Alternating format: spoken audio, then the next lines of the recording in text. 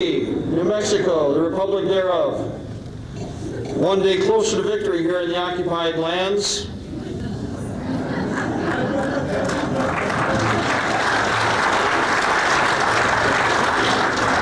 This is brought to you by the Little Brother Information Network. Big Brother is watching, and Little Brother has a big mouth.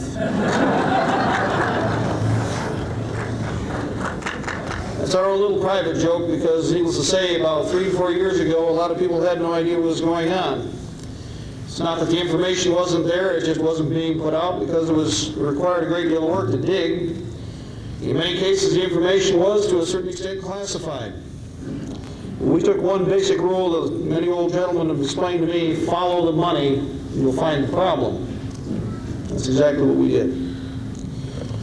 Now it's 1994. As you see in the distance, the storm is on the horizon. Well, I want to take you back a few days, a few years ago. It was mid-morning like this. Family was sitting in their home, pretty remote. Husband, wife, children, family, friends. The dogs began to bark. So the kids grabbed their hunting weapons, so did the father. They followed the family dogs, who were well adept, very intelligent, they're trained, into the woods. As the dogs reached a small thicket, a combat-clad, camouflaged individual jumped out, shot the dog, and then turned and fired on the family. You and I both know that any of your family pets are the same as family relative. And so the son responded as the dog was fired upon, and as he returned fire, he was hit first in the arm, and as he turned to, to flee, he was shot in the back and fell to the ground. Before the dust had even settled, of course, the other side had fallen back to a certain extent. The family friend, of course, returned home and informed his father that his son was dead, and they recovered the body. The child was laying in a, basically a calving shed. While the father went out to check on the body that evening, again it being very remote, as he raised his arm, he felt a tug at his shoulder. The round crashed through, creating a catastrophic wound, and he turned with his, with his uh, best friend to return to the house. And as the wife was holding her baby in her arms and trying to call the men in, and as they passed through, the, through and into the house, Another rifle round crashed through her face. She fell to the ground screaming, which is not usually talked about within our circles, but it's important to understand she didn't die right away. It was not a merciful wound. As she fell to her knees screaming, the bullet that passed through her and the spalled from her head, in other words, her skull, passed into the family friend's chest, creating a catastrophic chest wound, a sucking chest wound. They fell to the ground. Most of the, of the adult family members were either severely or injured to some extent, along with the children. They closed the doors, and the, the siege at Ruby Creek began. Was this Nazi Germany in 1933, 1935, 1939? Was this Bolshevik Russia, harvest of sorrows of the Ukraine? No. This was the United States of America in the 1990s. Well, 11 days approximately later, that siege ended with the loss of life great, a family destroyed, and the American people, to a certain extent, knew exactly what happened and did nothing. Some friends responded. Your enemy, the New World Order, saw that this was quite successful, considering the cost. And so, a time later, families gathered together in their own church, on their own property, in their own home, private, could hear the rumble of cattle cars as they pulled up outside. And a bunch of black-clad, jackbooted stormtroopers with coal scuttles and ski masks assaulted the house and the church and proceeded to destroy that congregation. In the initial attack, grandfathers were killed, children, mothers, grandmothers. As this siege was generated and laid forth, we watched it on national television for 51 days. And we should all be ashamed of the fact that we did absolutely nothing. Was this Nazi Germany when they burned the place to the ground and allowed for very few, if any, survivors, I'm sure purely by accident?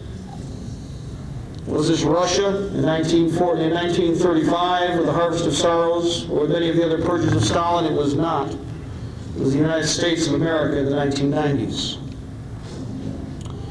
It is not fiction. It is not an illusion. It is reality. And trust me when I say this, ladies and gentlemen, that you have already seen two escalating incidences. And in each case, your enemy has fine-tuned the machine. Each time they've done a better job of controlling the press, haven't they? Each time they've silenced, silenced any voices of opposition. Where is the quote-unquote American media?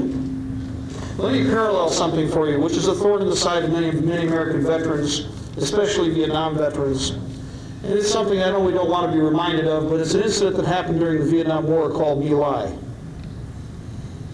We were at war, and this was a free fire zone, but still, a similar situation took place. And under combat conditions, even though this was a war, the federal government of the United States made a point of hunting down the officers involved, bringing them before courts martial, prosecuting and sending to jail the individuals responsible. Let me ask you something. Has a single man involved in the Ruby Creek slaughter or in the butchery at Waco been brought for trial? No. No. Isn't it strange that in time of war we make the effort to punish our veterans for what are probably crimes? And in the same breath, with the secret police of the United States, we let them walk free on these streets, and you don't even know if they're amongst you right now? Doesn't that make you wonder about the priorities of the people who are in charge? Of course, they're the people who were ranting and raving during the Vietnam War, too. Make no mistake about it. They're now the ones with, who, are, who are in charge of the butchery. Well, it is inevitable that we are going to face these people on the field of battle. I know many people don't like to hear that, but in reality, we are going to try everything we can peaceably to come up with a solution, and we will not find one. But what we will do is force our aggressor to peel away his mask and show you what he really is. You've already seen it. There were men, women, and children, old men, grandfathers, grandmothers, and what they did at Waco was use a thing that was forced in the forced entry, the type that they're using, a tactical entry, which is becoming very popular, and many of your local law enforcement agencies are being trained in it. Dynamic entry, in which they come into a home and they shoot everybody. They are trained to engage and destroy all targets. Now, if you want information on that, strangely enough, some articles on dynamic entry have actually been covered in your national magazines, specifically law enforcement magazines, so we can find copies of this and he describes going in forcibly with arms correctly, or arms available, engaging targets, shooting anybody that is even suspected of being a threat, identifying the casualties and killed, collecting all intelligence data, picking up their own wounded, and leaving that quickly, in and out. This is a fine-tuning of their failure at Waco to try and bring in more bodies and more manpower because they realized that the best they had to train by the way, that was an ATF shock unit, or another we call an ATF assault unit. That particular unit was pumped up prior to the action, and in reality got their butt kicked. The only problem is this, and I think all of you have the same attitude, and you better you're going to have to you're going to have to unlearn it. Is that when you're in a fight like this, you must fight to win. They had defeated the enemy on the battle at Waco on the very first day. Anytime that an aggressor leaves a site and routes, leaving his wounded and his dead on the ground, that's called a rout. That's not retreat. Frank, wait. Oh, get off my boot. As they leave. Okay? When you see men standing dazed and in shock, and they're the ones who supposedly were the ruffians, and, and of course, supposedly they're going to be the victors on the battlefield, when they faced limited opposition, because these people were on their power base and still didn't use everything they had. When the ATF had run out of ammo, by the way, something they won't admit to, but how much ammunition can you carry when, as you've seen in the videos, you're you can't do that forever, ladies and gentlemen. Eventually, the shock action wore off, and it came down to an eye-to-eye conflict, toe-to-toe, between American citizens and a secret police force. We don't take too kindly to black shirts, do we? In 1975 and 77 and 78, I was trained to shoot ski masks. The terrorists were wearing them. Well, now the terrorists are still wearing them, but now they're employed by the government.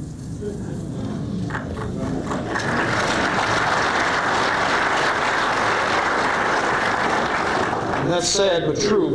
But unfortunately, uh, you have to look at perspective as to why they went to the black uniform in the first place. We're going to cover a lot of things here, but I want to get this point across. Black, symbolically with our culture, is the color of death. It is the color of terror. Why black helicopters? Why black cars? Why black vans? And why standardize on a black uniform? A lot of your local law enforcement officers may have already received their special issue if they're involved with the MJTF Police, Multi-Jurisdictional Task Force.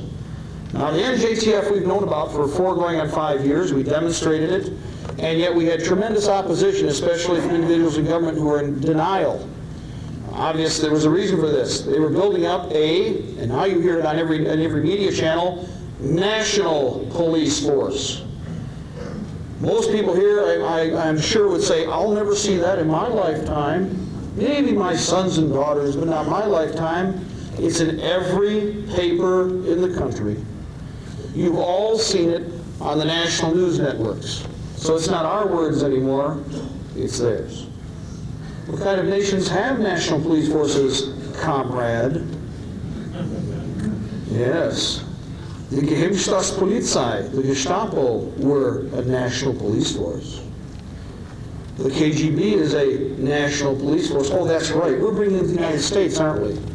Oh, congratulations. Your FBI is going to be standing side by side with some of the worst butchers we've seen on this planet in, in a century. Don't you all feel, feel proud about that idea? And we get to have an office in Moscow, too. Oh, gee, so they can train us a little better at what, what they do best? Well, the black uniform is part of that. Why the ski mask? Why the black coal scuttle helmet? The connotations, the images, and the, the, the reflection here of times past. All that's seen when they enter are the eyes in a black field. And what are the eyes?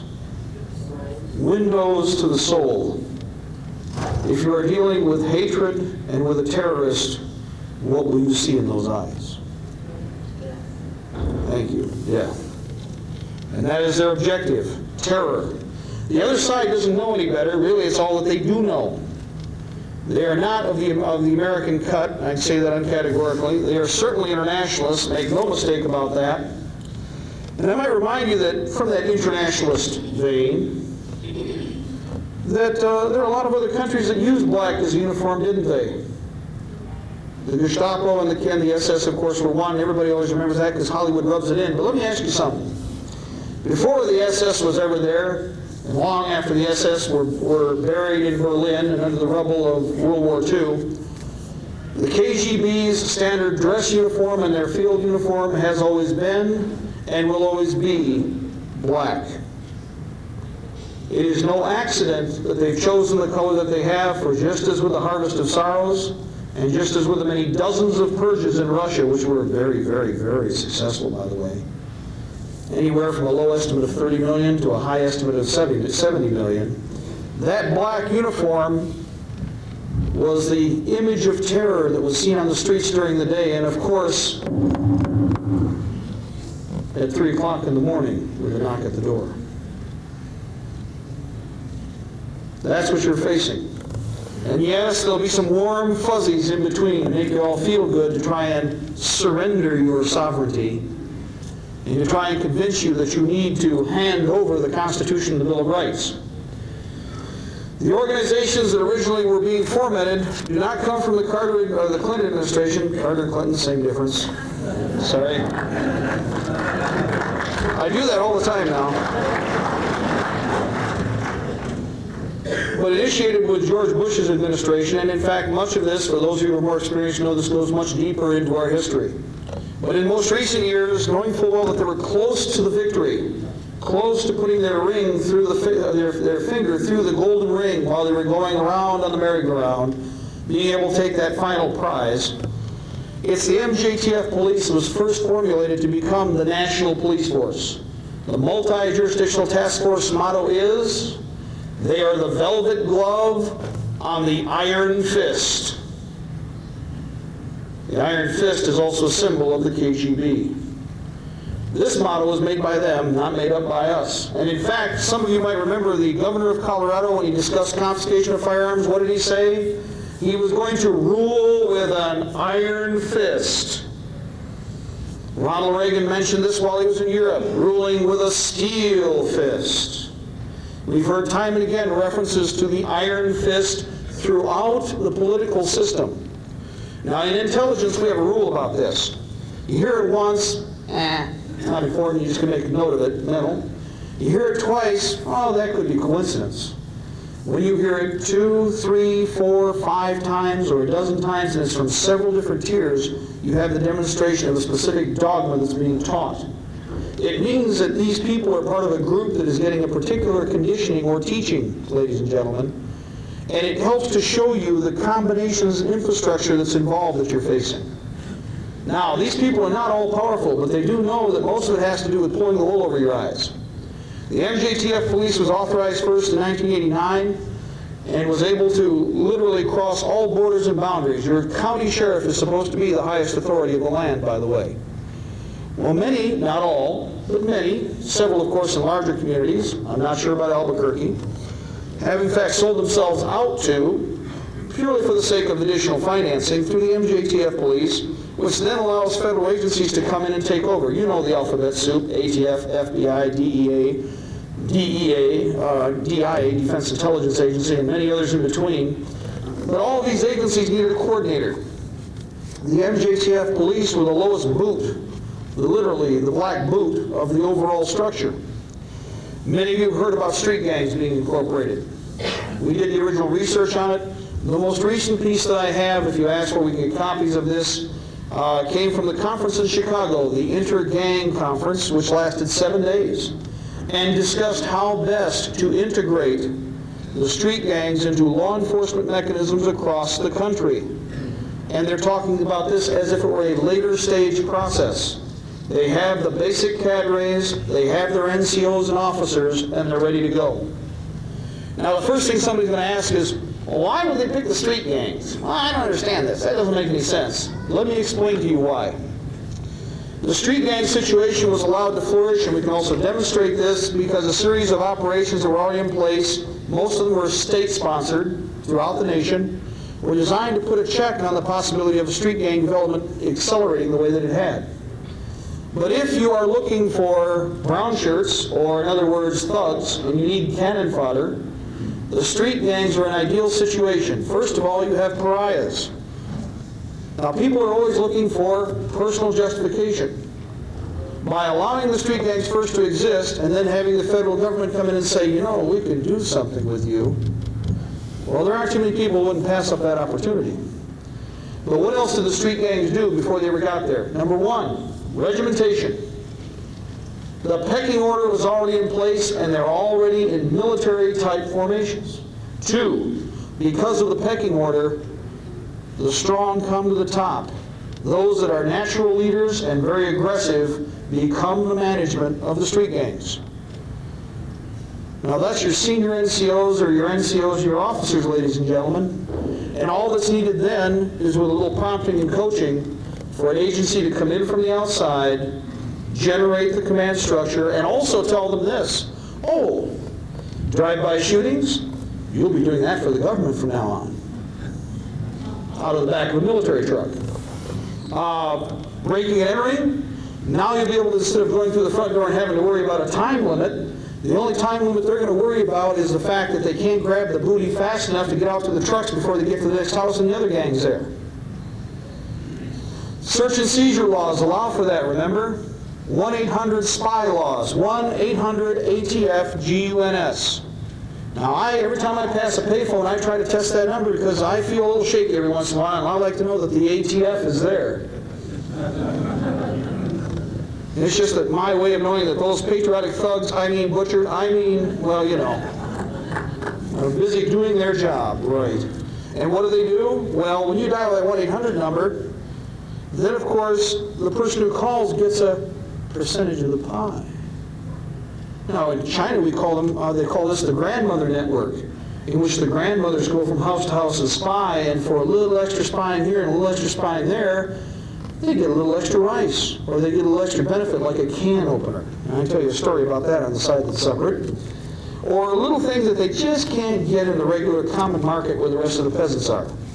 In Russia, the informant network worked exactly the same way, and people tell me we'll never see that in this country. It's right in front of you on national television. You only watch the cop shows and everything else that's generated to make you feel that there is, it is futile to resist, you shall be absorbed. Kind of like Star Trek, the Yuppie generation. Okay, with the Borg, remember? It is futile to resist, you will be absorbed. Well, sadly enough, the MJTF is not the only mechanism. It will incorporate your local law enforcement, sheriff's department, many of your federal agencies which will come down to help coordinate. It will be done away with. And in fact, as you may have already heard, or as I, as I mentioned earlier, of course, the National Police Force is the next step. The National Police Force will also perish. And eventually what will happen is you will see the United Nations security forces in full flower, berets, helmets, and baseball caps complete, and we will lose our sovereignty and we will lose the first line of defense that we have, that long blue line, our law enforcement because we lost control of it at the local end. And you better thank God right now they're still here for the moment. There's going to come a time when you'll have no say in the management, the procurement, or the control of these people. We're already on the edge of losing it right now. Well, the MJTF wasn't the only, or the National Police weren't the only organizations. They had to have a coordinating agency. And this one is very entertaining because when originally we did the research on it, people absolutely positively denied that there's no way they could have something like this. FinCEN. F-I-N-C-E-N, Financial Crimes Enforcement Network. Sounds innocuous? Oh, they're paper pushers. Yes, some of them are. But by looking at the budget, because we couldn't get information on the organization, we have a good idea of how many thousands of men and tens of thousands of men are on the payroll. Go to the national budget. You can find FinCEN listed every year, and you'll also have progressive payroll tables going back quite a ways. Well, FinCEN will, in my opinion, become the Gestapo of the United States. Most people don't understand the Gestapo, by the way. Everybody seems to think that it was just popped up out of nowhere and was the National Secret Police Force inside the SS. It was not.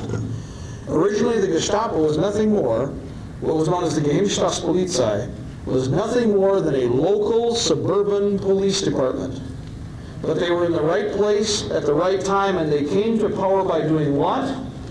by collecting data on every citizen in their community, then in their area, then in the region, and then in all of Germany.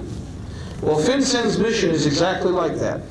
Through a series of mainframe supercomputers that they purchased approximately five and six years ago, setting the system up, and using the software that came from the Inslaw case, which allows for interfacing with virtually any type of computer that exists that's in the system right now, they can collect data on virtually any person in this room within a six to eight minute time, virtually everything. Your financial records, your automobile licenses, all of your firearms registration, virtually everything. But not just on you, because of a change in the Copper Wire Act with regard to wiretapping, etc., and the collection of electronic data and information, they can also collect information on every person around you, one house to the front, to the back, all of your neighbors and run the same data check on all of them without any of them ever knowing that it happened. Now I picture this because because of these changes in the laws, FinCEN does not have to release or download any data that's collected. It doesn't get rid of it. So it's like a big water balloon and we're all in. All of our data, all of our private information is sitting in this balloon. What they've done is they've simply taken a pin and they put a tray underneath the balloon, poke it, and they can be patient. Within a period of time, everything that's in the balloon eventually will be in the tray. And so, as would happen in the past, they will collect everything that is necessary. And again, we are on the very edge of catastrophe with this. They have some, but they don't have all. They are not all seeing yet, but they're trying very hard. Well, FinCEN isn't the final solution. In fact, uh, Al Gore, you know, it's like Igor, Al Gore, okay? Al Gore now, mind you, I don't mind trees, but tree hugging isn't my thing, okay, the way he does probably. Well, anyway, uh, Al Gore, of course, in the first six months to a year of his mission as vice president, was pretty well out of the picture, you recall. Was given very little of any publicity. In fact, he was pretty well, for the most part, in the background. You never saw him with Clinton for the, for the uh, first one, one and a half years, roughly. When he did come out this last fall, he finished a project which had taken most of his time to create, and some of you may never heard of this, the Directorate of Central Law Enforcement. Information is overtly available. I've seen no media coverage where they've picked up the ball and run to find out what the Directorate of Central Law Enforcement is about. It will create the final solution on their part for a national secret police force incorporating CIA, DIA, FBI, ATF, and all of them under one umbrella. All of these agencies will be under one mechanism, period.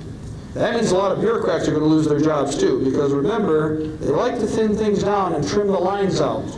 And they also don't like competition in secret police mechanisms, which means eventually they've got to get rid of a lot of people who have seen too much. And they can't let them live. So there's one good thing, as we always say, one of our mottos, they eat their young. So in, one, in some ways, they'll do some of our work for us when the time comes. Well, if you thought that was bad enough, then of course the next tier, and the logical one, which now again you are all hearing publicly on national radio, national television, our United Nations peacekeeping force. Peace. Peace, Mowgli. Yes, peace. Like the snake, in Jungle Book, Mowgli was only wanted for lunch, as we all know, and we don't mean sit down and have some. They meant be lunch. Well, again, we got lots of warm fuzzies flying in all directions, but any of you who are familiar with the United Nations Charter knows that it is a total reversal of what our Constitution and Bill of Rights stands for. There is nothing, absolutely nothing, that the United Nations can offer you that you do not already have as a sovereign in this nation, as a citizen. That flag standing next to us, by the way, is a representation of you, not the government. It's a representation of something that should be cherished by all of you, you'd best hang on to and fight to the death for, and that's the Constitution, the Bill of Rights. No matter what. A gentleman, and we're not deriding the people who work here, but a gentleman was going to bring forward a nicer flag than we had here. But many of you may have noticed it had a little strange thing around the outside, that gold fringe. The gold fringe determines that a different authority would be placed in this room. Admiralty law, British maritime law, statute law. I am a constitutionalist. I will not bear that flag to be with me. And I would retire that flag if I had to, and have done so in the past, and ask that anybody bring forward a national American flag. Now, if you don't think symbolism is important, then I suggest you go to many courtrooms today and offer them a very nice, brand new, well embroidered, regular American flag without the gold fringe. The court will not accept it. So if you don't think symbolism is important, you better take a look at the other side. They feel symbolism is important. It shows where they put their foot. The constitutional flag represents just that. Your Constitution. Your Constitution. Remember when they passed the law said you could burn it? That judge walked back to his quarters and laughed for the rest of the day. He laughed at you. Because when you burn the flag, you're not burning the government symbol, you're burning your symbol. That's why the federal government doesn't mind if you burn that flag. Now, I challenge you the next time you have a rally, burn a UN flag and see what happens.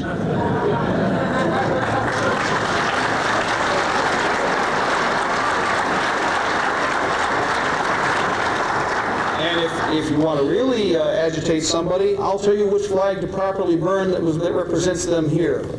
It is sometimes available. It is in the same configuration as far as size as a regular flag, banner flag. It is a white field with three stripes at the, at the lower third quadrant and three stars in red. Take that flag to one of your public meetings and burn it, and I guarantee they'll fight their way through a throng of people to try and get, get it stopped. That is the flag of the New World Order in the United States and the corporate United States. That is not the American flag that you all know, but it actually flies in many locations in Washington right now, and most of you don't even know it. It can be found in flag catalogs, and I highly recommend that it be used as a doormat next time you have a large meeting.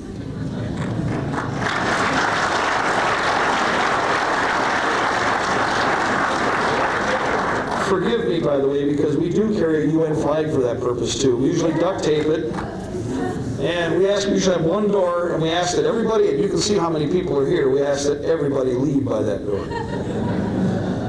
One time when somebody videotaped it, and all you have is two hours worth of feet going across the UN flag.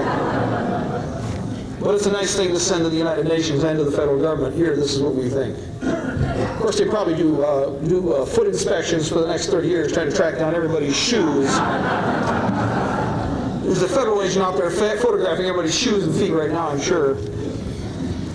Just to find those four, five, no six, no 700 people that showed up. Now, the only other option I have is if I ever find a UN flag flying, and if we ever have this happen over any of your federal buildings or state buildings, we need to know right away. I don't know what could possibly happen to it, but I would suggest, of course, that maybe it should be properly reconfigured and sent back to that federal agency on the roll of toilet paper where it belongs. Best solution. By the way, I notice I didn't necessarily say burn it. I prefer the doormat and the toilet paper solution, and the reason I say this, burning is an honor. This flag, if properly, uh, if, if in need, would have to be burned to be properly destroyed to honor the flag. To do so, the UN flag, of course, is enough of an insult to them on a public occasion that eh, it almost merits it. It's, it's, it's a great symbol for just as they burned the people at Waco, just as they planned on burning the people in Weaver's situation, just as they seemed to like to use fire to cleanse the country of anybody who would stand against them, so we may have to do the same in reverse. Keep that in mind. The republics. We are the ones who are going to have to stand since most assuredly our federal government or the federal mechanism is run amok and is not standing up for the Constitution and the Bill of Rights. It is going to be the need of these 50 republics or commonwealths to step forward and once again refound the Constitution. And there are many men and women here right now who are participating in that action. You must get involved. At some point in time, I will not be here, and many of the men who are perhaps even standing up will not be here. When that happens, the only option you have is that when I hit the ground, you're going to have to pick that flag up and go with it another 10 yards. When that person falls, another man or woman is going to have to stand up and do the same thing. When that person falls yet again and again and again, but that's the kind of perseverance you're going to have to learn because the American people seem to have thrown it out the window. But one way or another, if it's 10 yards at a time, this flag is going to Washington, D.C. again. It is going to be a free nation, and it will take years. It is not going to be months. It's not going to be just weeks or months. It's going to mean a lifetime of commitment. None of you are too busy. I don't ever want to hear that. Too busy to surrender, too busy or so busy that you'll surrender your nation? So busy that most of what you possess you will literally forfeit if they have their way. Listen to some of the most interesting things that have recently happened. A United Nations tax in the United States. Lloyd Bentsen said it. The G7 meeting that just took place in this last month stated uncategorically they are going to levy a United Nations tax in the United States, that it is now time. Now, I'm going to ask you something about that, because this is the whole thing that bothers me about the UN. Who voted for the membership? Ah, they were appointed. Ah, I see. Who has control then over the money that's spent and how it's going to be spent? Appointed, not elected individuals. Power corrupts, absolute power absolutely corrupts, ladies and gentlemen. The more money they get, the more of your money they'll squander. We all understand also the problem of that. It's all fabricated money, and to a certain at a certain point in time, we're going to reach a limit. That ties in with many other people, I'm sure, that are here, very familiar with the money issue and where it's going. Four years ago, we could demonstrate that there was going to be a money change absolutely positively. And anybody who wants to find the, the, the particular clause in public law, not proposed bill, needs to get a copy or find a copy of in the libraries PL 100-690. Public Law 100-690.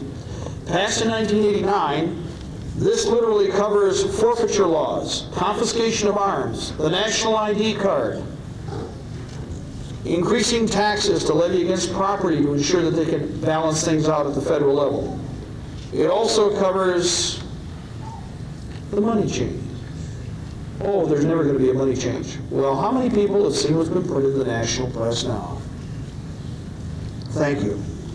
They aren't hiding it anymore because they can't hide it anymore.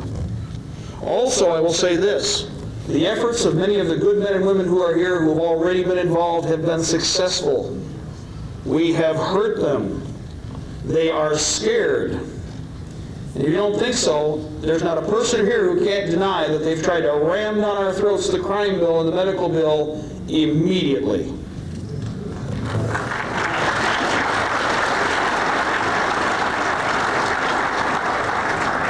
Now I liken this to a predator who has gotten into the, has gotten into the flock. The predator is already fed well. There are bones laying all about him. He's not in total control yet, but his logic is that because he's lulled everybody into a sense of warm fuzzy, that most of us are going to wait until we get eaten individually rather than stand together. Well, the herd's in motion, and we're on the run. While they've been lolling in the shade with a full tummy, we're lean and mean, and we are getting the job done. Now, as they've realized something's amiss and in motion, they've started to move themselves. And they are actually getting up and trying to accomplish many of the tasks that they've hoped they would, they would hoped under their own schedule they'd had more time to accomplish. They will not have any more time. If they do not accomplish, and in fact, again, through forcing them to pull off their mask, demonstrate what they really are, if they do not accomplish the task now, they are going to have to pile up even more into a more catastrophic event that will show you and demonstrate to you beyond a shadow of a doubt who you are dealing with. Think about it. Before, and I'll give you the best example because I have here, some gentlemen have already seen this. Thank you, thank God for the patriots across the country. We've got Terry Cook in California. You all saw the Clintonistas and the Emperor with Lord Bentsen. I mean, Darth Bentsen. He stood in front of everybody at a joint house session and said, You will all have this. Didn't he? I'm doing exactly the way he did. You will all have this card, and you will not have health benefits if you do not have this card. Now, the press has made a point of not delving into their vast video files and reminding people of what he said in a live joint session. By the way, does anybody remember as soon as he was done when he did that motion, they, they flashed to a shot of Jay Rockefeller? Yes, there's no accident to that either, and that is the emperor. Make no mistake, one of them anyway. The sub sub sub emperors and nothing else. This card, by the way, is the national ID card, and I hope you caught this because you notice I didn't say medical card this time. The medical card that he showed you was the warm fuzzy. You want to give up your rights. Just let us take care of you. Just let us handle your problems. You know, I got a bumper sticker that says the new health care uh, uh, program, the compassion of the IRS. Think about it. Yes, the management system of the post office at the prices of the Pentagon. And that's absolutely right. But even that, the health care issue is not the issue. This card is the issue. Never in the history of this nation, and yes, we know they got the Social Security number in. That was the first nose, the camel's nose at the door to get in the tent. And even that didn't go over very well because, again, back then, Mom didn't raise no fools. Everybody had a good understanding of what was going on. And that's why the Depression had to come about to force a lot of people to get into that system. It was a tool to create the confusion necessary to implement more socialism. Well, this card is the winner. This card is the loser. Both of these can contain 2,000 pages of information on this card. Your photograph, your fingerprints, your signature, a voice print, and any other data, including, of course, your military history, your financial records, and everything else on one card. What did he say? If you do not have it, comrade, you will not get health care. Oh, I'm sorry. So instead, the runner-up, by the way, is scary enough. This is actually a microcomputer. In the process, and while they've been generating this card, by the way, they've also come up with another one, the new military ID card. Some of you may have already seen it. And I will, and I ask you, and I know there are many people here, but I- you are, you are most assuredly patriots. There are people who are watching, by the way. You're always watching. If you would, I will actually hand these around. Sir, if you would, take these.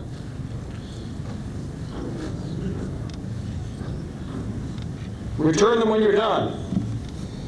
That is the card. And the national ID card, of course, don't leave home without it, will be the mechanism that is used to bring everybody into line. By the way, that card is traceable, and unlike the little computer system chip that we had there, the laser card, as it's called, is almost indestructible on your person.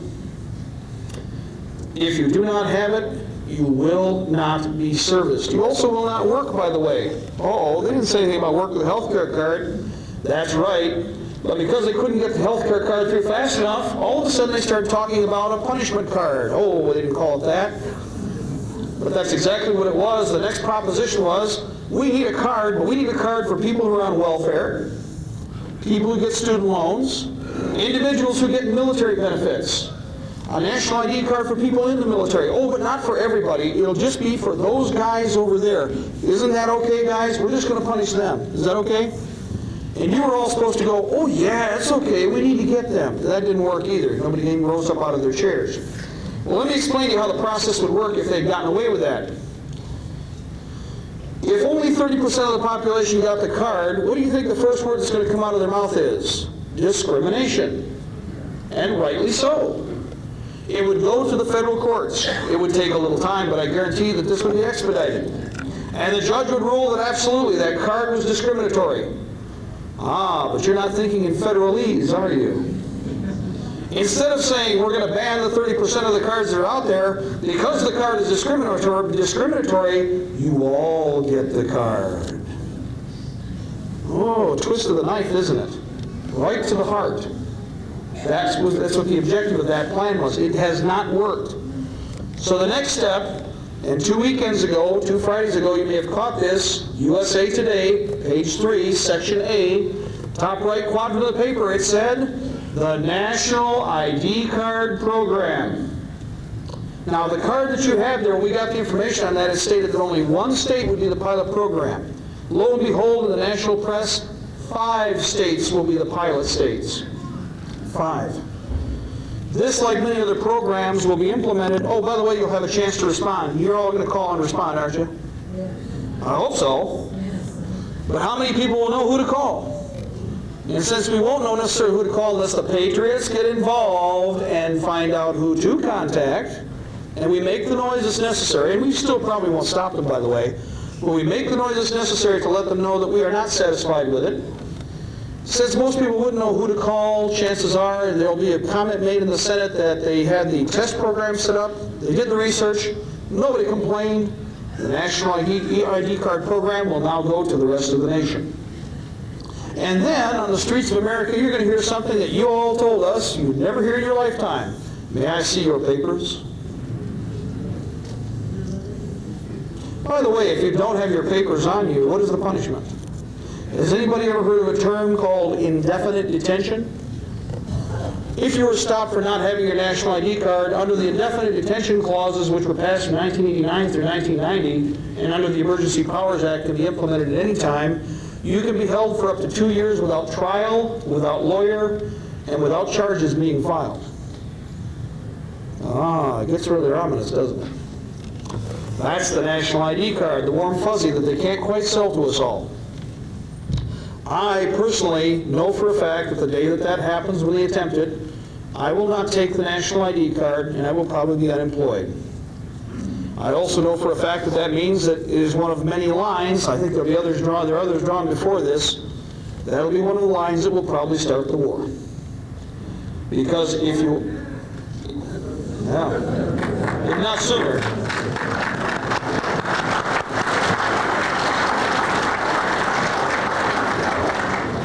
And the reason I say this is because you had best look or turn to the children you might have brought with you here today. If we are stupid enough to let this happen, then those children have the right to turn and curse us for the rest of our lives. Because if you're willing to sell your posterity for a few shekels, for a few pieces of silver, and in exchange sell the rest of your descendants into chains, then you don't deserve that freedom perhaps anyway. We better learn.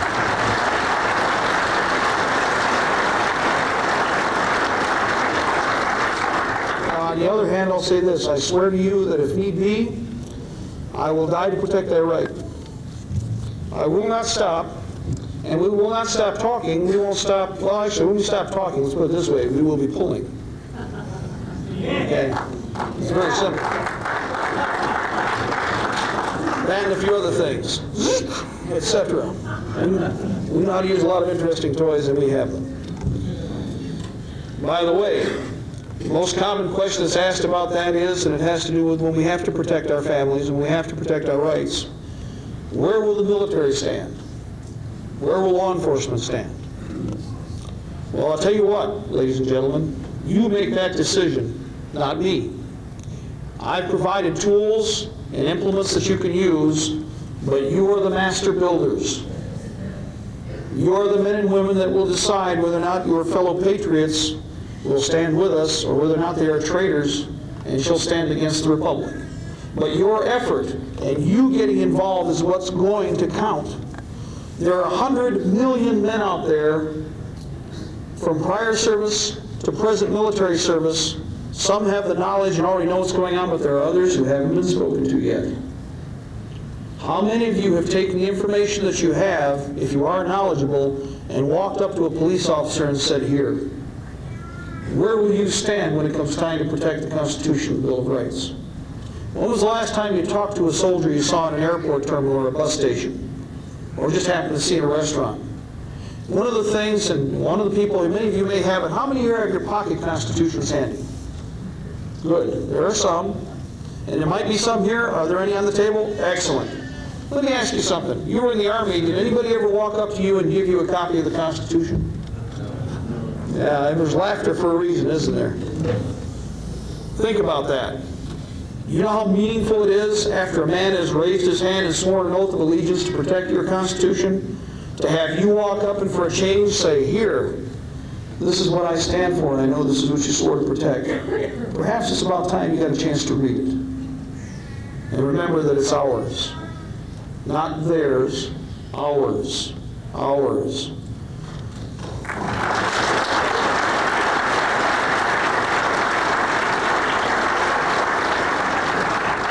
Now, there's some who will deny it. Remember and mark those people well. You'll also find out who your enemies are sometimes. That creates a long list, I know. But it's a list that should be made nonetheless to remember who your enemies are in this time because in the future you'll know who to turn to and who to turn away from.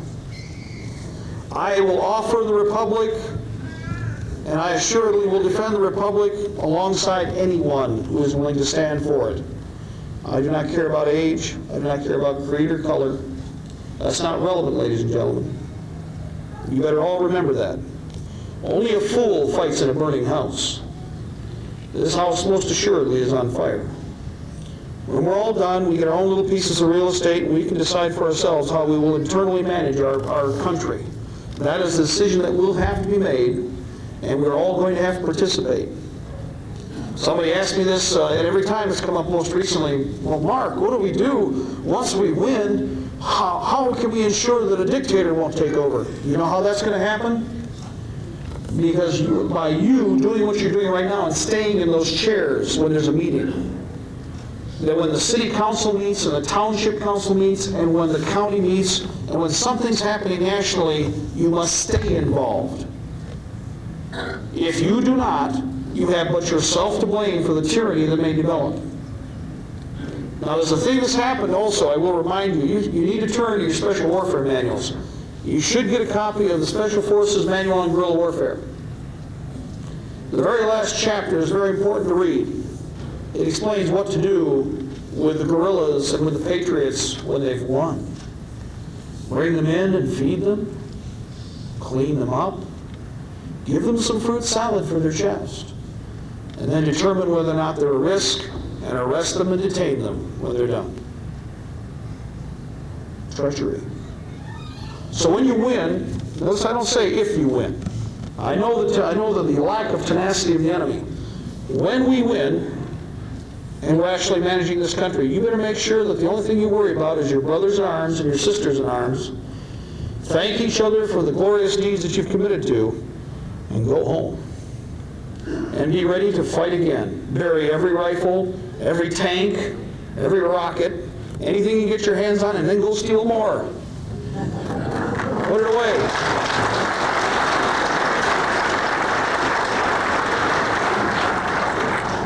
But just as the, as the Sons of Liberty had to learn at the end of the American Revolution, if they were not ready for war, and if they had not been there to plant the seed, the War of 1812 would have been very different, wouldn't it? Remember, in, in, in the, war, the War of the Revolution, we won. We beat the snot out of the most powerful nation on the planet, and then they came back. Just as we will be victorious, they shall return. It will happen again because we have a cherished prize. You know, my, a couple of my friends that came with me, one of them looked out and he's just awe-inspired by the mountains. I am too. To appreciate, and be able to travel over this country and understand what you have, to be able to go from the, from the flatlands and from the deserts to the Rocky Mountains, to the Smokies, to the swamps of Florida, and they have their own beauty. You have the most precious gem on this planet, and it already is your heritage. There are men that want it.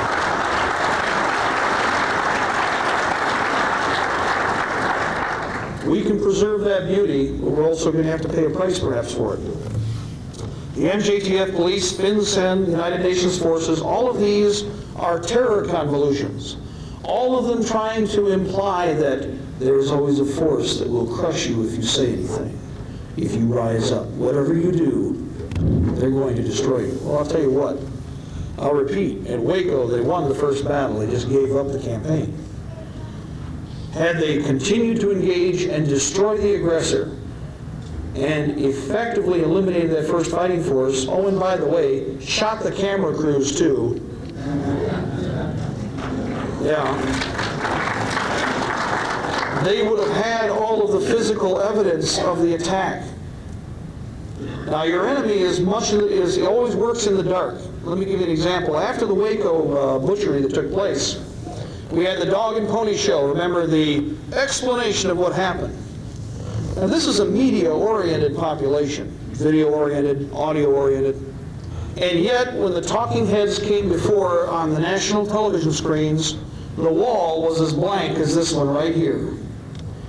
There was never a single reference to the hours and hours and hours of media footage that was taken during the first attack on Waco. And what that tells me is that they were out and out lying beyond a shadow of a doubt because if there had been anything to show that the Federals had not fired first and that they were being merciful and kind little Nazis, then you'd have seen it on the big screen behind the talking heads. The very fact that not a single screen was there and that they never even referred to any of the footage tells me who the guilt lies upon.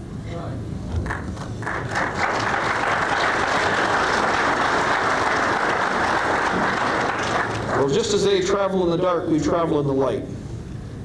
Somebody asked me, how can you do this? Very simply, you get up on a podium, you stand over here in front of the microphone, and you talk. Well, wouldn't they be coming after you? Oh, yes, trust me, they have made efforts to create problems for us. The other problem is this. If I were in some way trying to create an illusion, most assuredly, and if I were, of course, could demonstrate panic, and if they wanted to take me to a court of law, I'm sure they would try, they would try to do so to get me out of here. If they could demonstrate that I was trying to create a revolution, they would do everything in their power. And you'll notice I never use that term because I do not believe in any way, shape, or form this is a revolution, ladies and gentlemen, and I do not want to see you use that term either. We are the defenders. You are morally right. Beyond a shadow of a doubt, there's only one thing that I stand for, the Constitution and the Bill of Rights. I will hold that before me when I go into battle.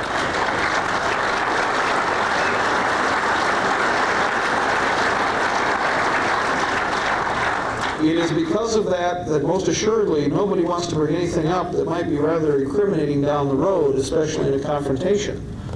because many, many, many people who are in the system that you will privately talk to now in the future, if you go about becoming a little more blunt, will admit to you openly that what we're talking about is taking place. But you know what the most common question I have from the military is? And some of you might even be in the military but are plain clothes today. That's okay.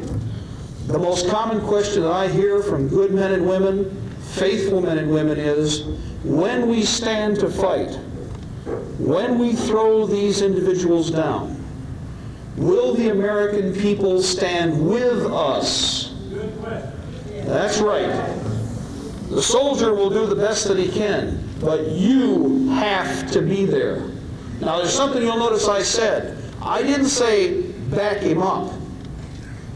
And I didn't say stand in front. I said stand with him, shoulder to shoulder. You know why?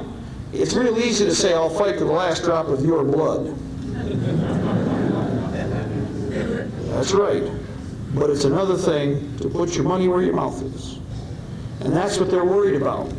Oh, by the way, don't think the enemy hasn't been figuring out that something's been going on. Before we came down here on cable with the uh, one of the uh, uh, Hollywood talk shows, they were discussing a new movie that's just come out. Oh, by the way, it's not a new movie, it's a remake of one you may be familiar with Seven Days of May. They just redid it and they called it The Enemy Within. The New World Order is trying to bring global peace. And of course, a young officer finds out that there are these patriotic Americans that are trying to maintain control over the country and won't let the UN do its proper job. It's going to be on the stands very quickly, and I'm amazed it was probably shot out within a very short period of time, and it's to try and do damage control. Again, we have to demonstrate to our brothers and sisters in the military, our fellow citizens, that we will back them and that yes, we understand the need for it. I will also say this though. Once we win, we can never let what has happened happen again. What that means is this. Ladies and gentlemen, but especially men, for ladies I do not prefer putting you into combat nor would I think about it, and I know that maybe some would have, have second, you know, second uh, comments about that. But we are men of the West. I would try to try to shield all of my people. Unfortunately, we've done a good job of that to a certain extent. We shield more than we should have. I will shield my women and children to the best of my ability and protect them from any harm. But that also means that men, you are going to have to stand up and participate and become part of the militia at large. It's because we created specialization and created a standing professional military force that George Washington warned you all about. A standing army is the bane of a free nation. And was George wrong? Because look what is happening now. They're taking that force and twisting its purpose. Changing the oath of office, changing the oath, no longer to swear allegiance to the Constitution, but to swear allegiance to the corporate United States and to the United Nations. Some of you may have seen this mag, the, uh, the news, newspaper release here that's excellent, this particular flyer that was generated. I want you all, please, to read the piece on the military interviews that were done by Flyer that asked them what their attitude was about shooting on American citizens. They've already been asking this question. When the U.S. government bans firearms, would you be willing to fire on American citizens who will not surrender their weapons? Well, we have no reason to surrender our weapons. It is unconstitutional to do so. The reason, and you all have those little pocket constitutions out there to look at when you're done, there'll be a break here. Pick up one for yourself, and I want you to look at it. The Bill of Rights is unalienable, not inalienable. Even were the document to be shredded and burned tomorrow, those are your God-given rights. They cannot be taken away. They cannot be destroyed. They are yours to possess for as long as you live here on this earth.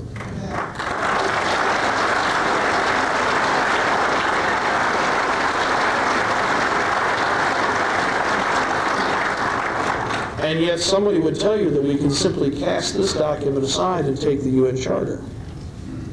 Yes. Oh, what webs they weave. Well, sadly enough, There are attempts right now in our Constitution that will try to do this. Many of you here may also be involved with the fight against the CONCON, Constitutional Convention. Many of you here may have heard of this only for the first time. We are only two states away from losing the Constitution administratively. There are two documents in motion, but one is the most likely. It's called the New States of America Constitution. The preamble states, the 50 United States of America are abolished. The 10 regional governments of the new states of America are established. Regional government? Uh-oh, where have we heard this before? Well, ladies and gentlemen, it's already been implemented. It's already in place. You can find a regional government listed in your phone book. Understand this, you all know how convenient it is to deal with state government right now, don't you? Of course, if you call, you'll get an immediate response, won't you? Or you won't. Well, imagine this. With regional government, the capital is even farther away, and the central regime that controls all records, all information, all finances, your child's control, you know, your child's life, and literally all government will be even farther away and even more remote, remote bureaucratically. By the way, no individual who will be part of the regional government is elected. They are all assigned directly by the president under the new States of America Constitution. Freedom of religion shall be a privilege, and I'm reading from their document. Freedom of religion shall be a privilege, not a right, granted by the overseer. Overseer? Who's that? Ah. Anybody ever read the UN Charter? You'll notice when you read the UN Charter US, UN Constitution, the way it's set up, an overseer decides all rights and all rights are arbitrary at the discretion of the administration at that time. That's what you're trading for, arbitrary enforcement. What about the last check and balance that you all have in this nation right now? Your last protection that's still intact in the Constitution. Trial by jury. Randy Weaver found out in the end that yes, there was still some remnant of that intact, didn't he? In the Waco trials, with the exception of a, a jurist who decided to try and compromise with the government to make everybody happy, that came up with the manslaughter, the manslaughter charge, I'm sorry, manslaughter conviction. Were it not for that compromise and had the, had the jury a little more intestinal fortitude, those people should have all walked away. But they did not because the jury, the jurists were scared. They did not fully understand the power that they held in their hand. Well, under the New States of America Constitution, jury by trial shall be decided by the judge, not by the defendant. You won't see another jury trial in this country again, for obvious reasons. Your peers will not be able to sit amongst you and decide from all the facts whether or not you are guilty or innocent. That will be destroyed.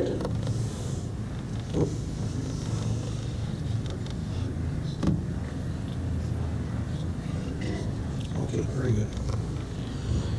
Interestingly enough, the New States of America Constitution is only a short way from actually being, being enacted. If that takes place, heaven help us all, and again, he has a right to curse us all. Because that's just another avenue that they've, they have appointed to try and destroy the, the sovereignty of this nation. And again, I still have to ask that same question. Nobody's ever explained to me, who's the overseer? That's a rather ominous uh, description, isn't it, of somebody in charge? The overseer? As if you were all what? Slaves. As if you were all chattel and property to be traded at the discretion of state government. Possibly. That's, that is a possibility. We're, not, we're never given a definition of who the overseer is, by the way. And in most cases, with all the documents that have been generated by the New World Order, oh, don't say that on Rush Limbaugh show, by the way, right?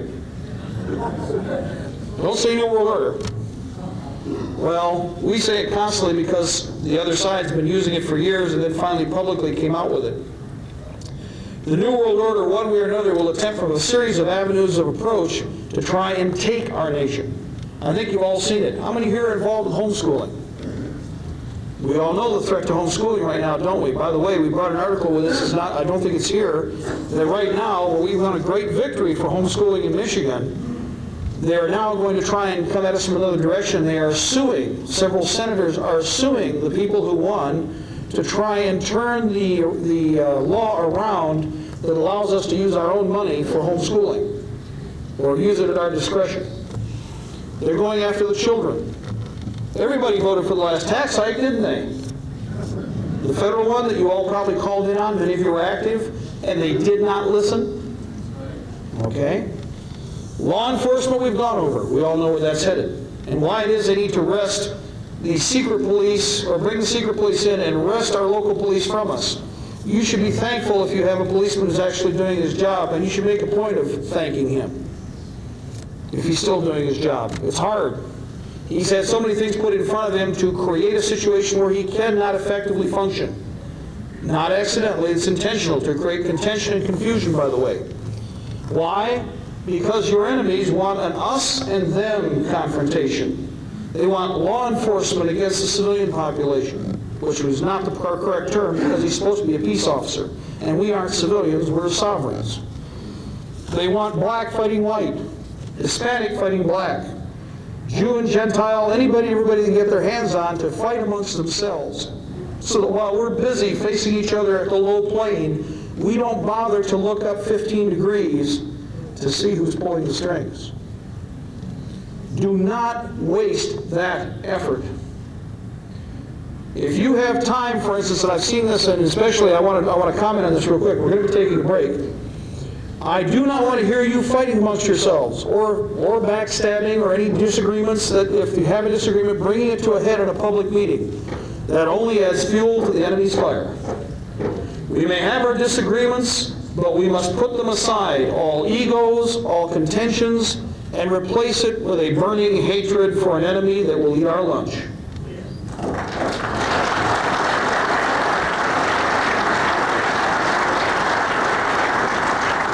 It is going to be expensive. You, first of all, will not have enough of anything that you like to have or that you need, ladies and gentlemen. Don't forget that. We fortunately have organized, for instance, in our militias, we have field hospitals, medical units, evacuation units, civil defense operations. We have production for manufacture of arms and equipment, sub-factories and small manufacturing dispersed all over the Midwest, all the way down to including nothing more than simply little basement factories, or nothing more than a single mill or a drill press or whatever. But the manufacturing and the capability to create an infrastructure to support our military in the future is going to have to be done by you. Why do you think they've centralized everything? Why do you think they took many things out of the nation and shipped them virtually overseas? George Washington warned us about this also, by the way, that we must maintain industry in this nation. When they talked about artisans and craftsmen, they weren't talking Mapplethorpe and Piss Christ. They were talking Bluebird and Bridgeport.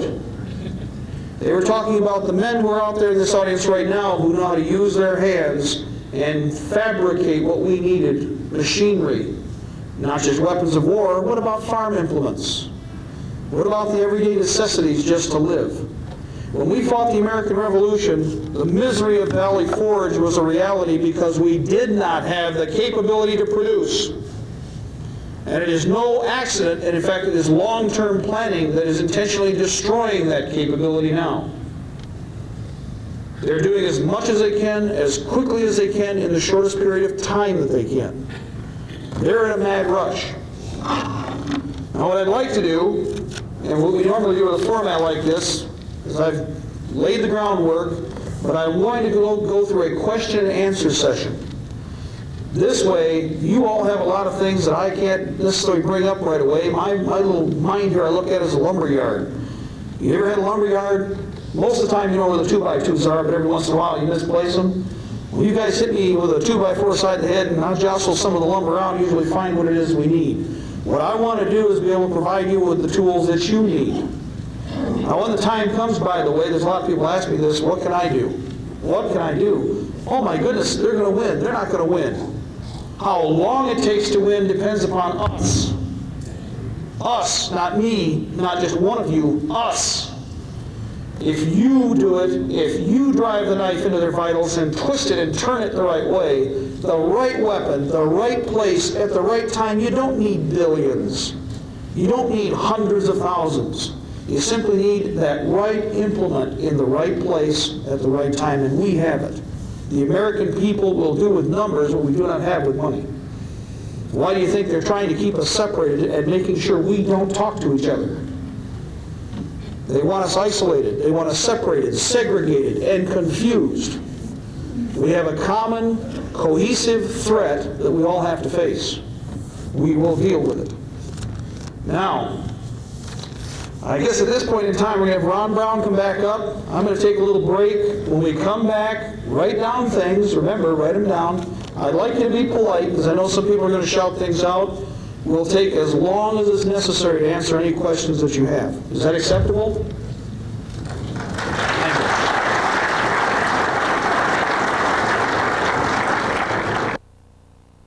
Well, it wasn't really a break. Usually we get a chance to talk to a lot of people in between. Now, a couple interesting questions I'm going to address before we start direct question and answer. One of them had to do with the idea of um, collecting signatures and names or asking for assistance or, or help from people with regard to putting yourself forward. I understand that, and in fact, there is a, a possibility of risk that is going to take place with a lot of you stepping forward, but there has to be both an overt and a covert arm. First of all, I do absolutely believe in the militia at large, MALs. Militia at large formations do not have to identify themselves. Every one of you standing here, or sitting here today, has an absolute right as a citizen, as a sovereign of your state, to bear arms as a militiaman. Nobody has to grant it to you. You've already got it. There's no law that can take it away. It's already yours. That's what the Second Amendment was all about. Also, all of your states, in, in fact, it is, it is not redundant, but it is reiterated with your state constitutions that you have an unalienable right to bear arms. Some are better written than others, some are made more nebulous, and it was an accident, wasn't an accident. We all know what kind of rights New Yorkers have about bearing arms, don't we? Not much of any. That has to do with the difference between constitutional law and statute law. And again, as I said, as a constitutionalist, you understand what your position is and you have to stand firm with regard to it. There is going to be a need for people to step forward, though. And you'll have to make that personal decision. And I still, again, I respect every individual here with regard to how they will fight and what they will do. Myself, I was not trained to fight like this. And believe me, four years ago, a lot of the information that you had, and a lot of it other people put their names on, we covertly collected. We distributed with no names, but offered the information and, and gave people the routes. We wrote out the road maps on how to find much of what we're talking about. And I see a lot of names on information that I know we generated. We don't have a problem with that. But, as I saw, and as I still see, there's a problem with ego. And that is a real problem inside the Patriot and across the country that needs to be, needs to be done away with quickly. What is going to happen in the future is the Patriot movement has many good veterans. You're standing amongst us right now. Some of you have been in all the different fights we discussed, from the ConCon to home education to private school to uh, private control of our of what is now public tax money. In other words, keeping it in our pockets. But all these people are going to come together, and in fact are coming together, and we're creating literally a tidal wave. For many people, you will not adjust. Some, some will refuse to adjust to this situation. If for a change, we actually have numbers and our ranks are full and are burgeoning. Accept that because it is going to happen. And those that do not adjust will be like rocks in a gully left behind by that wave as it passes. We are not waiting for anybody. This movement, listen, it's not Mark and what is he about, or Jim or Frank or Fred what are they about. It's this people, known as Americans, are in motion. I can go anywhere, and many of you can go anywhere and talk, and there are very few people who will be foolish enough to laugh anymore. Am I right? Oh, they might turn their heads, and some of them might turn red and, and shun away. But there isn't any place you can go where people haven't seen, or at least at the very least, have this spot in the back of their head that's burning because they know something's wrong. They can't deny it anymore. Now, your enemy has specifically created that condition. They wanted a vacuum so that when the time came, they could drop anything into that hole they wanted, because we would demand peace, we would demand uh, control of crime, which the Clinton administration doesn't lie about, by the way. They're only interested in going after criminals, not after the legal guns. The problem is, we'll all be criminals.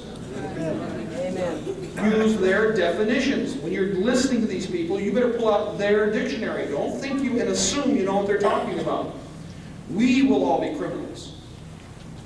Well, many people will be, I won't say thrown to the side. What's going to happen is they're just simply going to be static as this thing continues. If I were to die to- today, I would be alive on Memorex for the next 10 years. Fact? How many here made copies of the tapes we already have? Oh, you're guilty. Okay? And there's people I know who are going to say, oh, I did 300. You know what? That's why we did it. We only probably constitute about one-tenth of 1% of all the tapes that have been made. We know by rough counting that over a million copies of America in Peril were already generated. Yeah.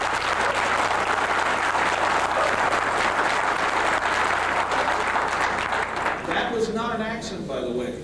I've had many men and women who, are now working with us who came to us before totally incredulous. And what happened is they came in and, and took the information and ran with it, which is what I want you to do. Notice I'm not going to spoon feed everybody. I want you, to, because my time is precious too, by the way, and it's limited. You spend some of your time, you go out and do the research, and when you come back and you have it all in your hands, you tell me. Because you can't make excuses anymore, by the way. There's no way to. The other side in their urgency are printing it all in, all on paper. They're putting it on the boob tube. They're generating it in radio. The sad part is this. Most of the information I've already told you about is three and four years old. If I can do it with what limited resources I have, then you tell me why the media hasn't brought it up. Because they're running. Because they're already run, that's right, thank you. They're already under their control.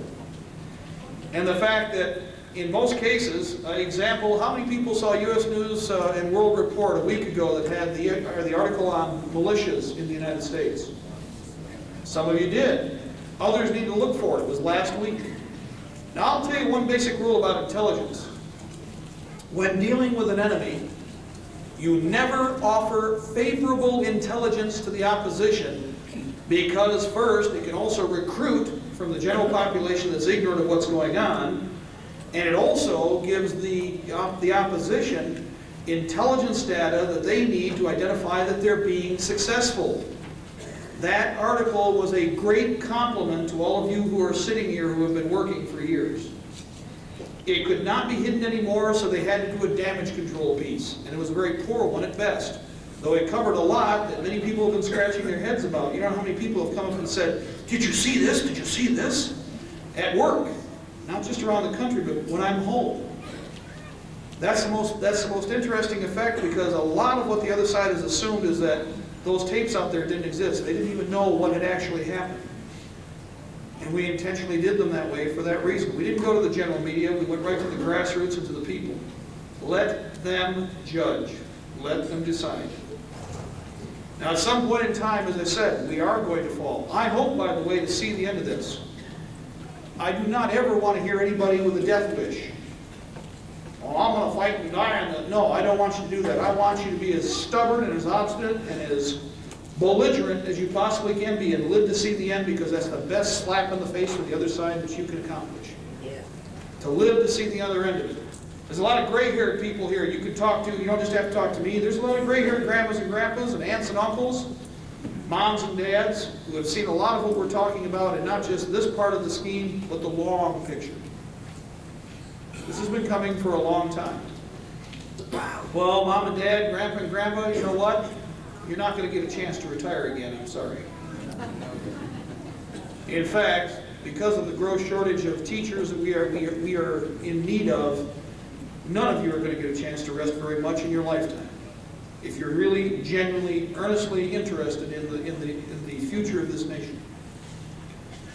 I want to challenge you with something because this is what I've been planning across the country intentionally. There's no accident to it. A lot of you are worried about what will happen in the next few months when we do have to go to war, if we have to fight. A lot of you are also looking far enough out to say, what will we do if there is a conflict over a number of years? Let me ask you something, because I said it earlier. What do you do when we win? We have to start thinking in long terms. There are men and women here talking about the Constitution. They need to be the new teachers again. In our history books, in our textbooks, we must cover and discuss and create a constant discussion on the history of this nation and how it came about.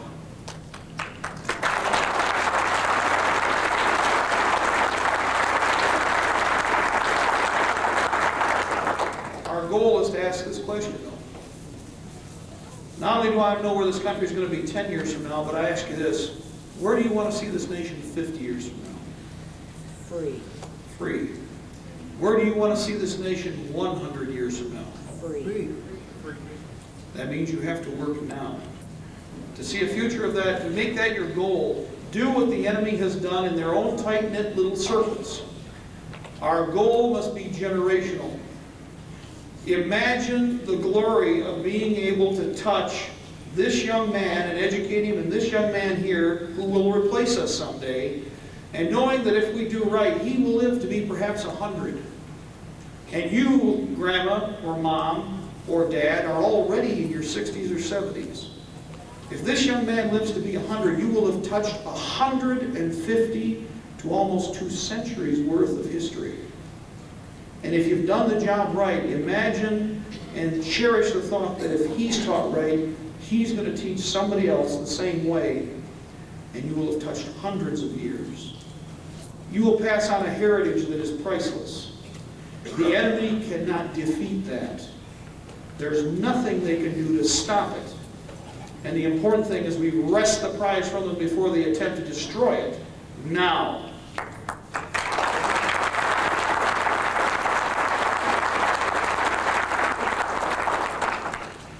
as a courtesy, uh-oh, you thought I forgot. There were three cards. Yeah, I was gonna ask you that. Does anybody know where they are? Okay, are they all there? There's two, okay. Third one? Okay, good, thank you. Who says you can't trust patriots?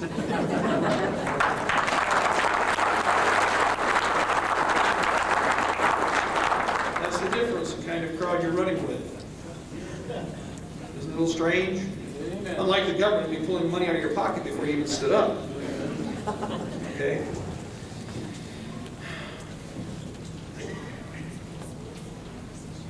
The ID card is something we will stop, but not before it probably has been implemented in some areas. Sadly enough, there'll be people who'll be heavily documented. A little note here about this ID card, by the way. Is anybody here from Indiana? Oh, good. A few from Indiana. Do you know that Indiana has a law, or maybe you've heard of this, but I'll bring it to your attention when you go home, ask about it. Maybe you haven't heard. If you're stopped on Indiana's highways and you do not have your driver's license with you, you are issued a citation. Of course, this happens in other states.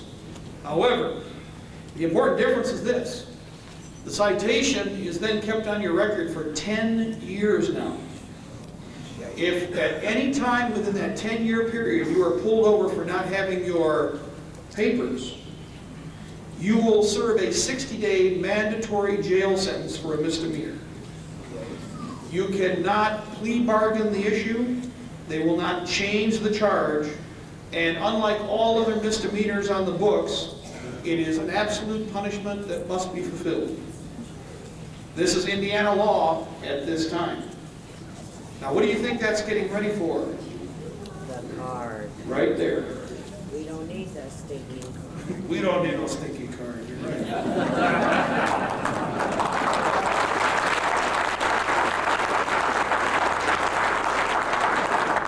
don't like your badges either. I don't either. That's right. Well, there've been a lot of exciting things, and I'm not gonna hit you all with gloom and doom. Let me tell you, give you an idea what's happening in this country. We've been blessed with the fact that many patriots have assisted. Now, we don't have any resources, and we don't do anything other than put everything right back into whatever we're doing. We're, we're committing everything that we have, all the time that we have to this. But I've been from Florida to Montana from California to Connecticut and almost every state in between. I've been blessed with the opportunity to meet with patriots from almost every militia command or unit in every one of those states at different times. In Florida, the individual counties are passing militia laws, which will authorize the county to directly support the militia at large in each county. Nine counties have already passed the ordinance. Nine. You better be proud of that because that's one state. And they work right across the panhandle and they're working down into the body of the state itself. Some of the larger metropolitan areas probably won't pass an ordinance, but this is one of many efforts that are being made to draw the line. Because that's going to be a question asked here. What's going to start this? And I'll answer that when it happens, when, it, when the question's asked. But what about the rest of the states? Well, militia of Montana, MOM, has been very successful, so much so that the enemy's eyes are upon them now. That was that article we talked about, U.S. News and World Report. They are doing an excellent job of getting information out. Militias in virtually every state are already formed. Some of your states have a home guard that you may not even know about. 17 states have home guard militias that are supported by the state. Texas has one, Michigan has one, and I've been in the military since 1975 and didn't know about it. Not until only a few years ago. And in trying to find out who runs it and who's in charge, it's an enigma. It's a very well-kept secret. Uh, and gradually we found out by making contact with some of the commanders that most recently the federal government tried to come in and take the militias, the Home Guard militia of Michigan's equipment away from them to try and ship it to Indiana. Now, yeah, I see that sounds strange to us too because, first of all, it's home guard. They don't leave the state. And what they in reality were doing was trying to deactivate these guard, these home guard units because this ripple has been going through the whole system. They do not know who they can trust anymore. And they most assuredly don't trust the militias and they don't trust the National Guard. You've all been seeing what's happening as they're cutting forces out.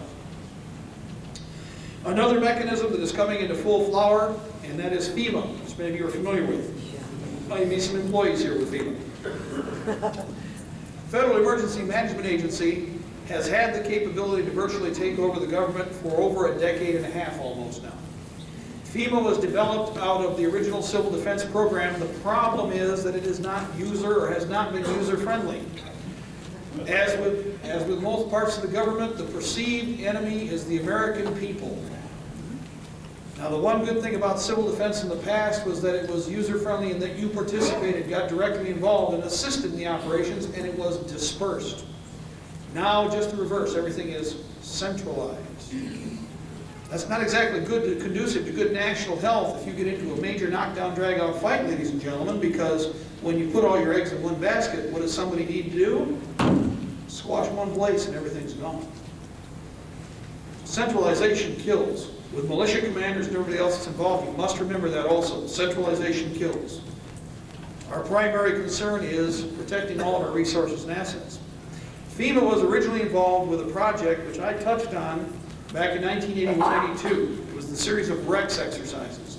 The last of the primary, of, of the last premium exercise of this type was REX 84. Some of you are familiar with that, others will have to be educated. Rex 84 called for the, if necessary, takeover of the United States by FEMA and a shadow government, or literally 50 men, pre-designated in executive orders. There are an additional 50 personnel who would take over for the other 50 in the event any of those men were killed or missing during a time of crisis. Everybody first thinks, ah, nuclear war. Wrong. The exercise determined that in the event of quote-unquote economic catastrophe, civil unrest.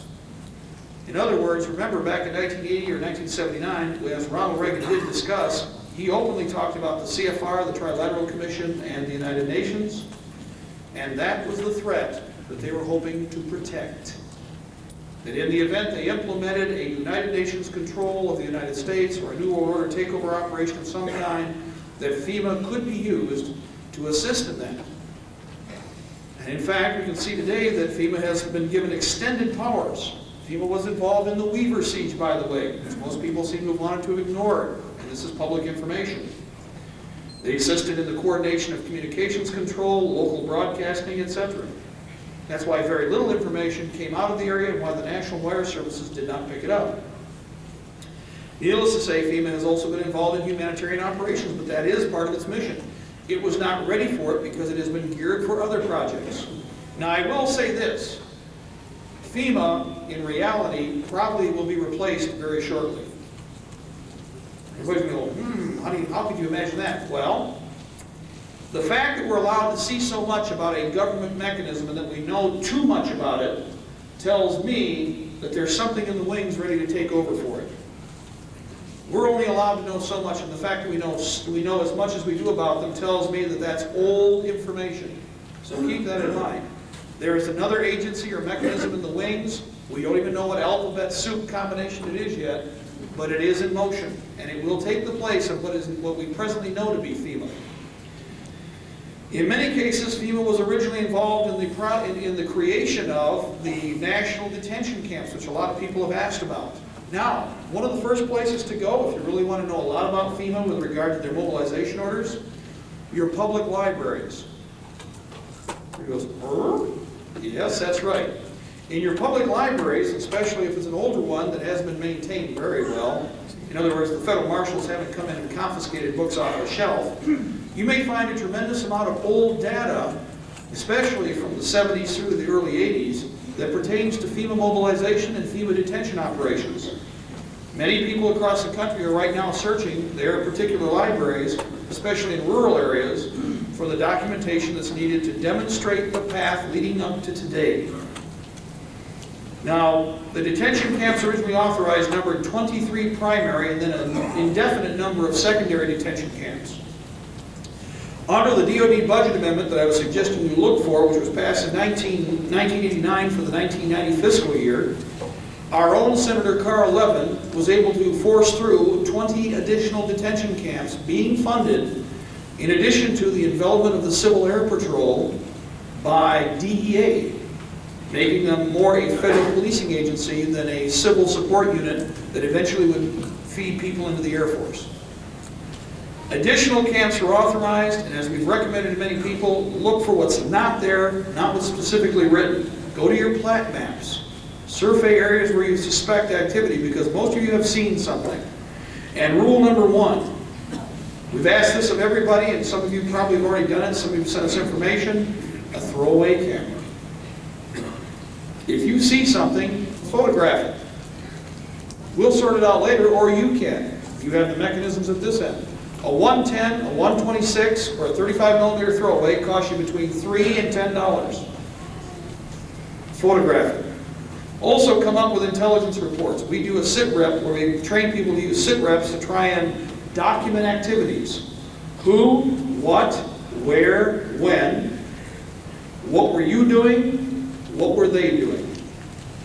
By having a consistent report, ladies and gentlemen, we can more effectively first sort through the data, verify or deny, and then catalog the information so that we have a progressive calendar. Now the problem is this, we're not a professional intelligence mechanism and none of you are.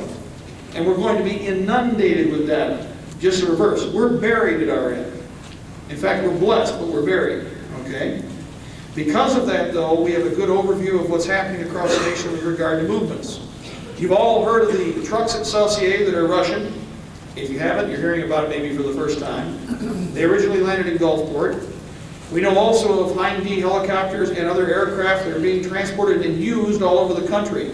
The magazine Spotlight has actually been generating information now and trying to verify or deny specific information that's been handed off to them. And they're one of several publications, they're not the only one. Russian personnel and foreign troops, most recently the 425th LERP, unit, LERP uh, Company, which was the old 40th Ranger, which I was affiliated with, was converted back in the late 70s. In contacting several of the individuals that are involved with this unit, have been training Spetsnaz personnel within the last month. Originally, the cover story is that they were, they were Lithuanians. They were not. They were Russian Spetsnaz personnel. We had three companies at Fort Grayling, I'm sorry, Camp Grayling. Make sure you get that right, the difference between camp and fort. Also, other foreign nationals have been on site, not just in Michigan, but throughout the country. Now, the most common question I or comment that's made is, well, we've always had soldiers, foreign soldiers in this country. Yes, we've had some, And most of the soldiers, even who have retired for, the- who served in the last 20 years, did, yes, experience foreign nationals to different degrees. But being older soldiers, many of you remember that traditionally, those foreign forces could not even bear arms in this country, first of all. Through gradualism, we went from training small elements to training larger groups to the point now where it is being admitted on national television that we are going to have even larger formations stationed than any of us expected. That we're going to see foreign troops rotated here and vice versa.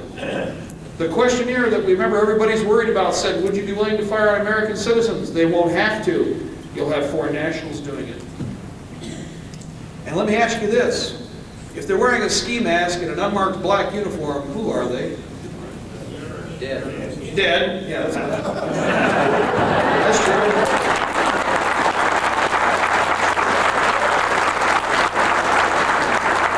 I have to agree with that. But the point is, that's why this grad, this gradual progression, it's not a single event, it's not a single action, and it's not a single issue. A lot of you uh, have your own special specialty, but you're going to have to generalize again because they're tied in. The gentleman was asking about this outside. How have they been, or what, you know, how have they been doing this? And, you know, what would their progression be? Well, PL 100-690 is like half of a wall. It's not a wall built up from below a block at a time because you could see the foundation rising. Instead, they virtually in a day, plop, put half of the wall up. Even as we speak, the House and the Senate are going to be deciding the fate of firearms in this country, perhaps today, if it hasn't already been done. That crime bill is the other half of the wall, and when they come together, the cement will bond them quite well. That is reality, not fiction or illusion, and there's nothing you can do to hide from it. These are the most sweeping and dynamic crime packages, or for that matter, legislative packages this nation has ever seen. None of the people voting on it, by the way, ladies and gentlemen, have read it. The GPO, Government Printing Office, has not even generated a copy for distribution yet because it's been modified time and again. Any of you buy a product that way? The people supposedly representing you are. Now, I hate to tell you, I fired, I would fire people who would do things like that, and we may have to.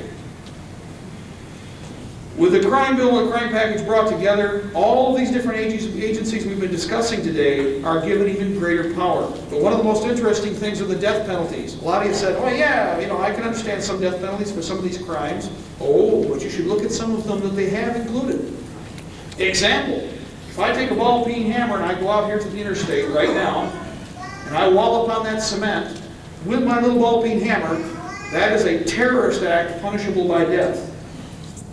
If I go out to the railroad, railroad yard here, take my little ball peen hammer again and start wailing on the track, that is a terrorist act punishable by death.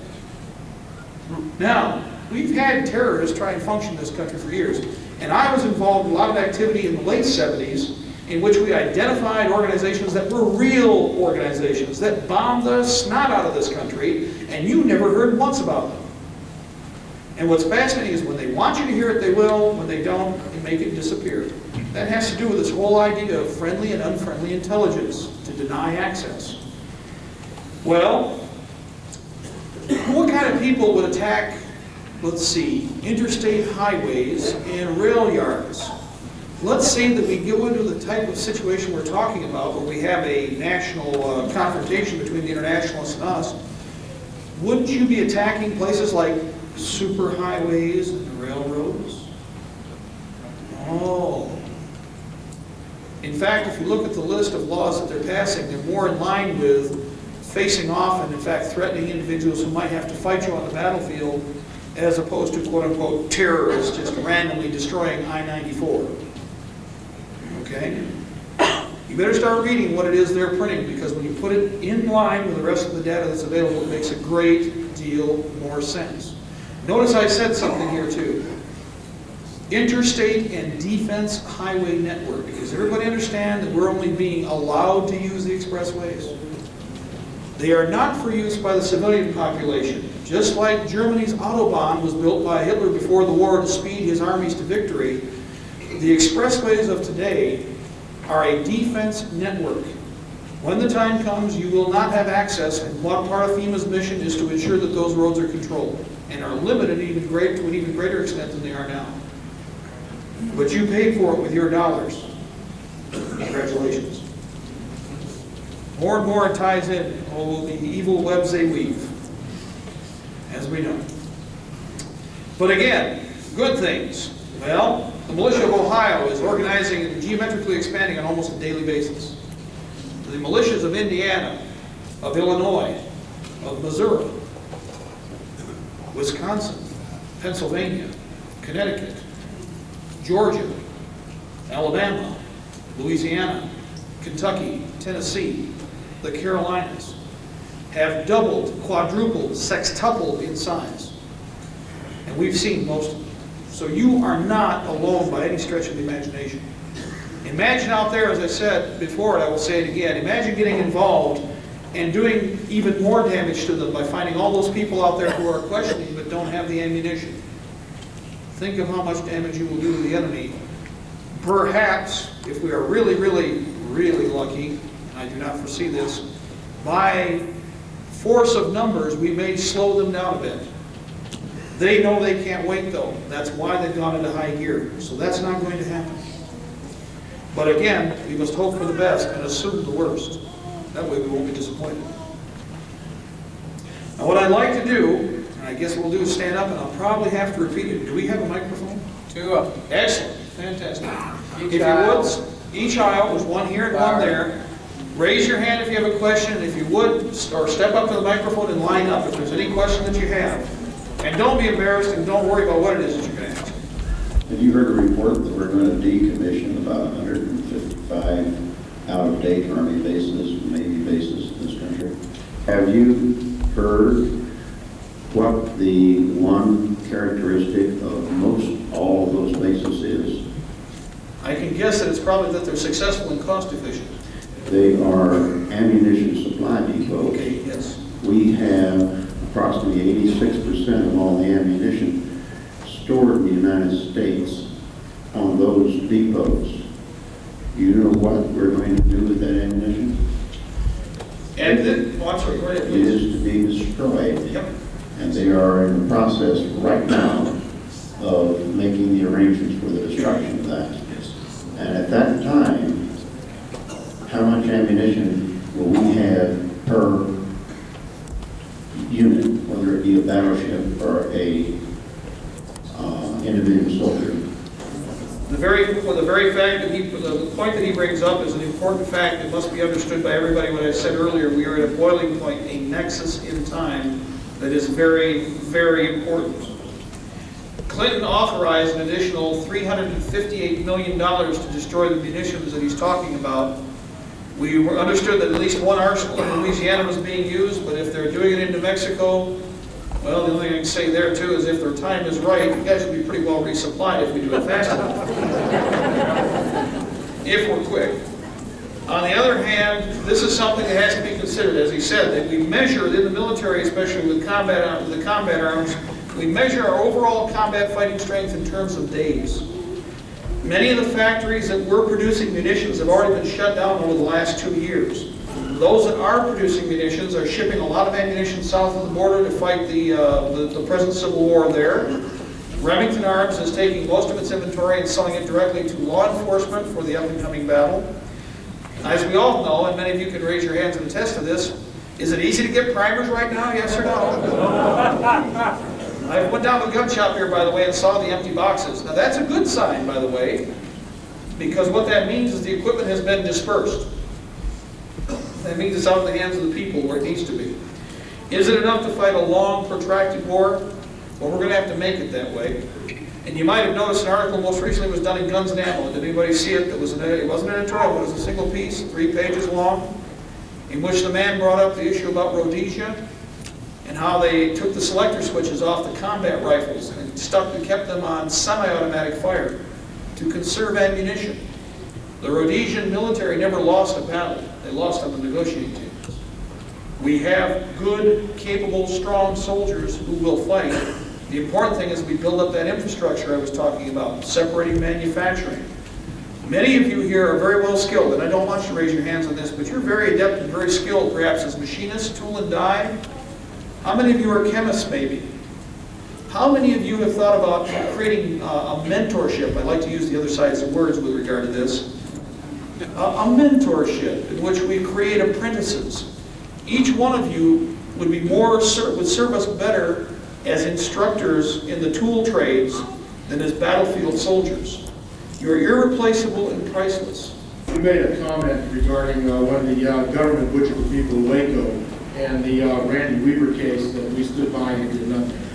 The Bottom line is here, when this happens again, and I'm sure it will, and they can take people individually because we will not have the ability to cohesively stop them, what would you recommend we do the next time they pull something like this? And then, when we could have some things we could do, would that not be the line that's drawn that finally sets this off? Reaction to what might happen with another Waco, and personally I will say this, I believe there'll be five to seven other Wacos.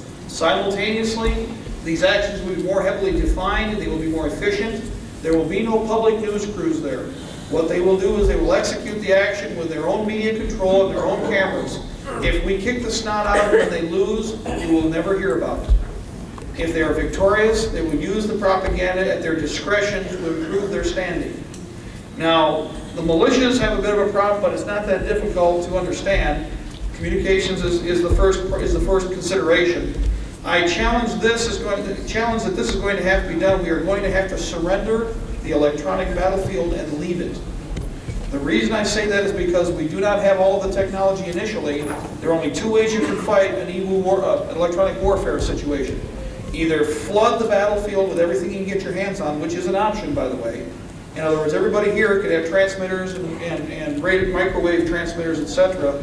Simple units that do nothing, but they clutter the field.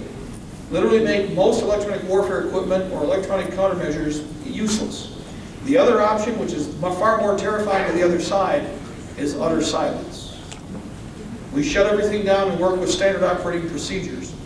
They will choose who they attack, and we will certainly then have to choose how to fight them when that happens. For most of us who are in co- co-militia units, or know of different units that exist, the policy is going to have to be to hold. Unlike the actions of the past, though, the defenders are going to have to be prepared to be offensive if they are pinned down and are supported. And during the action that takes place, the defenders will have to strike while the militia supporting units are showing up. This is Lexington and Concord all over again. We'll have to decide individually when we see the smoke as to what will have to be done in our local area. I believe, as I said, though, there'll be more than one, and it's not accidental. They have regionally compartmentalized our, our, uh, our media. I've heard things in, in uh, the Carolinas in one day that I've never seen in the news in Michigan. And I'm sure you've all done this too, been all over the country. Things you've never even knew existed, all of a sudden pop out at you on the news screen. Now, organization with communications, anything and everything that'll put a radio wave out should be retained. Cheaper is better.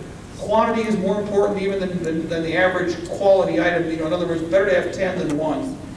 Better to have 20 than 10. This way, when you drop it, if you have to leave it or if you have to destroy it, you don't cry. I give you an example, a lot of people are buying night vision.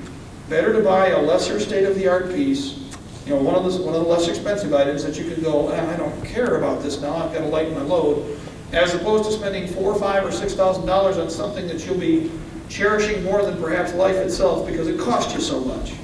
Don't worry, when you take down a black helicopter, everything will be there that you need.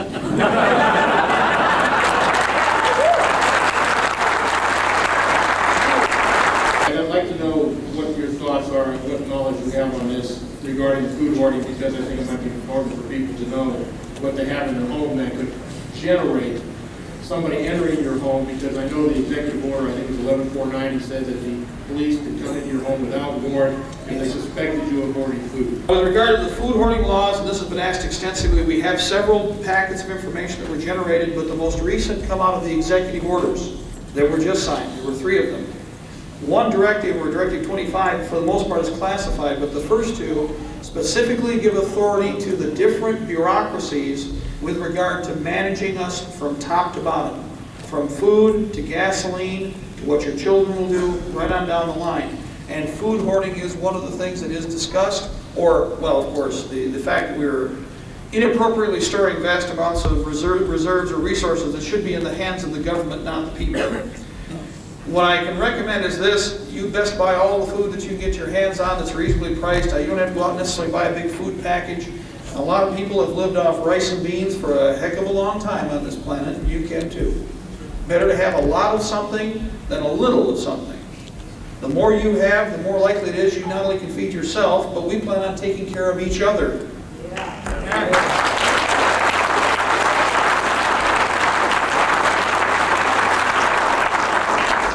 We'll do what, what they're trying to make illegal, of course. Everything we do will be illegal, so that shouldn't surprise any of you, of course.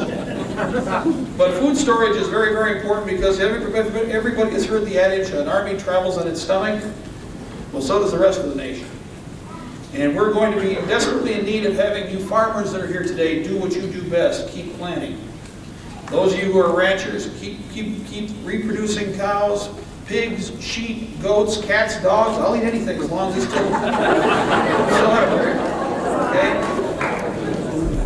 Anybody who's familiar with it knows a dog doesn't taste all that bad.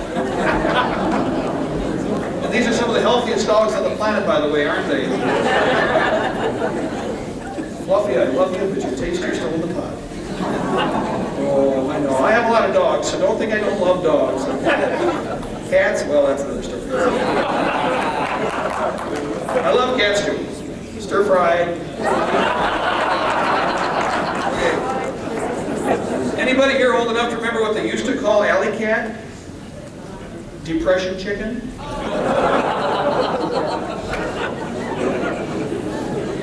Happened before in this country, it's going to happen again. Preferably keep the cats around, we got to keep the roads down. Diced rat's not so bad either, so. With that in mind, though any food reserves are better than no food reserves, most assuredly what we do will be in some way, shape, or form deemed illegal.